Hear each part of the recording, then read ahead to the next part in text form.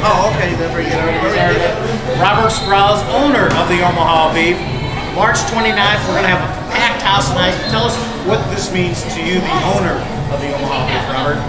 Well, let's hope it means a win. That's important. Second of all, it means I won't have to put the child salary out of my pocket.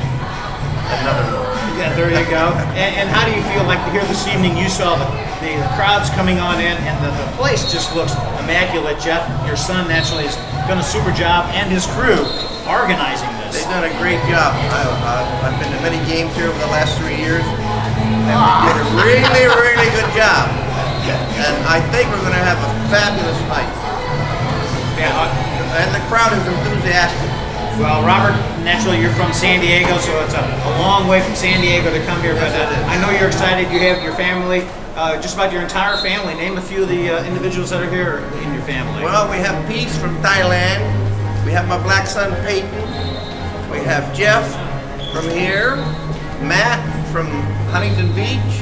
And my son Jeff from, or Greg from uh, uh, Yeah. Washington. Yeah. Washington area there. That's We've got the whole Sprowls crowd here. Everybody. Everybody is here. Again, we, we'd like to thank uh, Robert Sprowls, again, coming from San Diego, the owner of the Omaha Beef here in, here in the uh, Omaha area, and uh, good luck here this evening. Thank you.